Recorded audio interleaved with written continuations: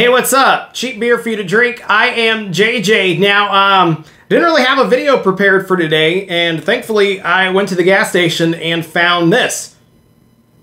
And there's a lot of buzz around it. It's uh, Travis Scott and Anheuser-Busch's collaboration, Cacti Seltzer. It is a 7% hard seltzer, and uh, Anheuser-Busch has done that once before. They've made an 8% alcohol seltzer with the Bud Light Platinum seltzers. 7%, I mean, they've, they've made it taste good before. Maybe they'll do it again.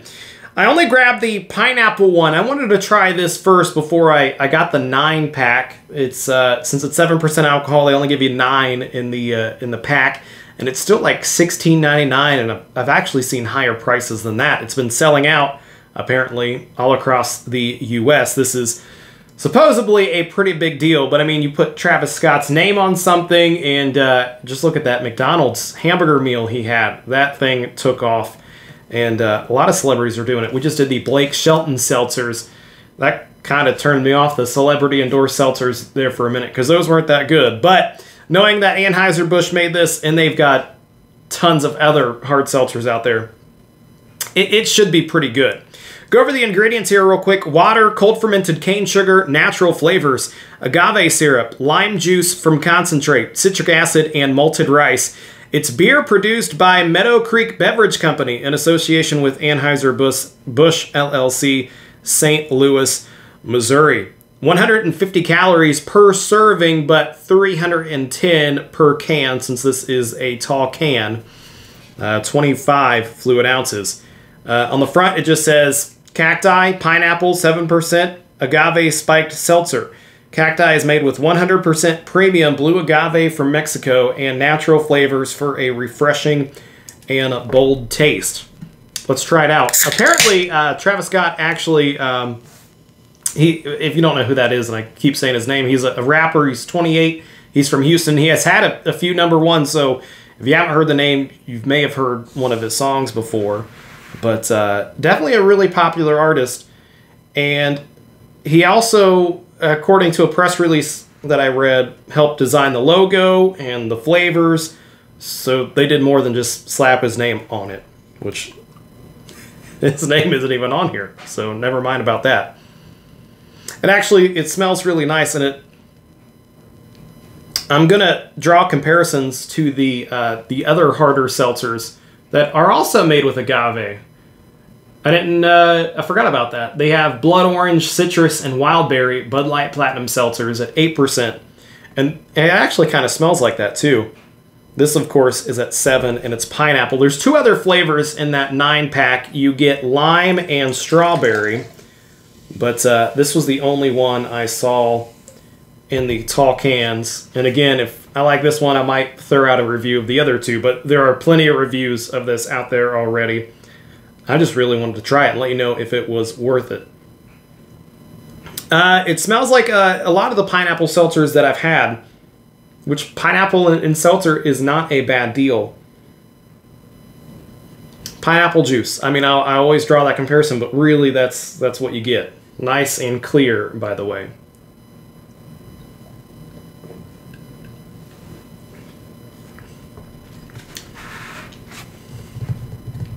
Incredibly smooth. Um, Anheuser-Busch really knows how to make a uh, a smooth, stronger seltzer. At 7%, uh, that is actually pretty good.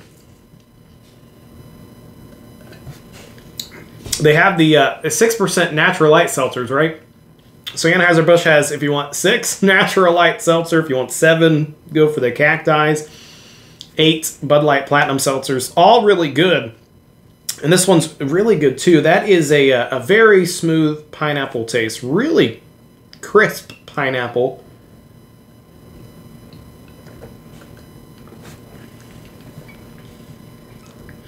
Yeah, it leaves you with a uh, not a bad aftertaste at all. And it's not very sweet. Just a, uh, again, really nice. I like the finish of that too. Re really leaves you with a good pineapple taste in your mouth. Not a pineapple fan. I mean, you probably wouldn't like these, but hey, you might like the strawberry and the lime. Lime's always a, a pretty solid flavor for a seltzer. Um, but the strawberry, that could be hit or miss. So that one I'm, I'm kind of interested in, uh, in seeing if that one is good or not. But for uh, 7%, that's not bad. I wish it came in 12 packs instead of the 9 packs because that is uh, quite a bit. Uh, 16.99 or so. You may see it uh, for even more than that since it is selling out. Um, that is a lot for just 9, even though it's at 7%, because you can get a 12 pack of natural light seltzers for less. Um, this is not bad at all. I would recommend that you you look out if you're a, a seltzer fan and you like the stronger seltzers. Um, I was kind of worried just because you put someone's name on there and, and you brand it that way. Maybe it's a bad product because um, you're going to sell it either way. But you actually make something that tastes good as well. And this one really does. And I am worried about drinking this can because it's 7% at a tall can like this.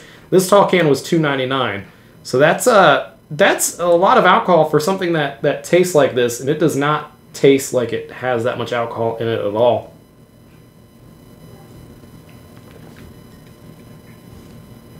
Like I said, that's uh, that's a really smooth drink right there. Uh, Cacti, Anheuser-Busch's latest seltzer. They have a bunch out there.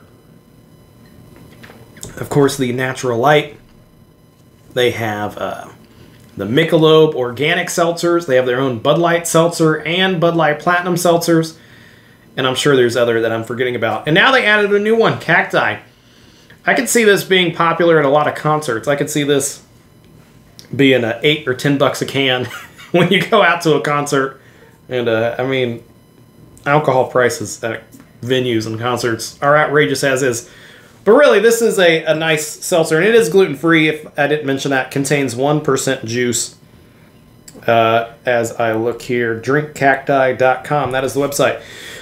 Yeah, I'm gonna have to try those other two flavors. This is uh, is really good for a seltzer, and again, that that that pineapple, not strong at all, very smooth. Um, I liked it quite a bit. Cacti. I'm glad it's. Uh, it's actually as as good as I was hoping it would be. I was worried, especially like I said after those Blake Shelton seltzers. I mean that's his own brand, so Anheuser Busch. Once I found that out, I was like, oh, these are probably pretty good. They know what they're doing. That's not bad for seven percent. Cheap beer for you to drink. Thanks for watching. Um, we'll be back next week with uh, hopefully a video that's not as quickly thrown together as this. I'm actually leaving town for a few days and uh, was like, oh, I always put videos out on Thursday. I should probably do that because I don't have one ready. So I'm, I'm glad I did find this, and I'm glad it lived up to the hype. It's the Cacti Travis Scott Hard Seltzers here on Cheap Beer for you to drink. Thanks for watching.